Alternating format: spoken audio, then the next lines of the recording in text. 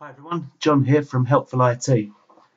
Today I'm going to show you how to free up data on a hard disk when the option isn't available via disk management.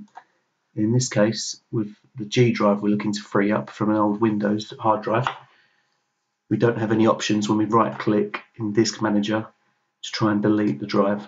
Usually we'd get this op these options here to delete, format, etc. So in this case, we need to run a program called disk partition.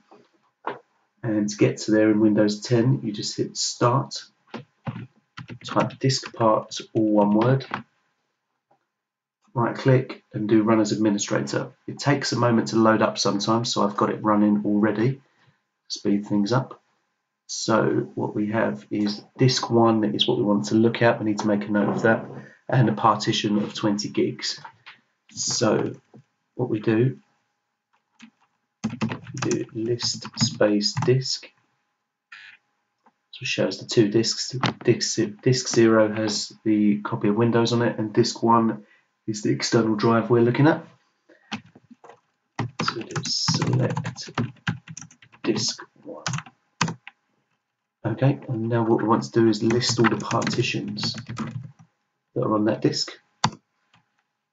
And as you can see, previously partition 3 was a primary and 20 gig. So to free that up, we simply firstly select the partition. So select partition 3. Partition is now selected. And then we type delete partition. Usually that would be enough, but in this case, we get the protected permission partition error. So type it in again, but have the command override at the end. As you can see, it's now been deleted. Should be able to do is go back into computer management.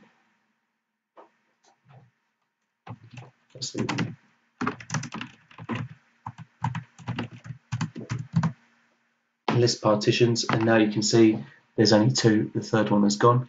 My computer's running slightly slow, but that G drive here should then go to unallocated memory. Hope that helps. More hints and tips, follow our YouTube channel. Thank you. Bye.